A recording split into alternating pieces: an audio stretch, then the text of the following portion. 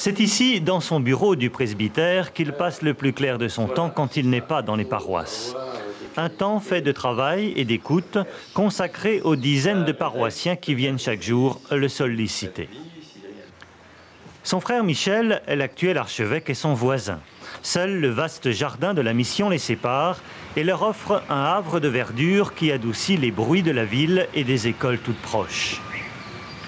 Et c'est parfois dans le silence et la fraîcheur de la petite chapelle de l'évêché, toujours accompagné par son chien Brutus, qu'il vient se ressourcer dans la prière.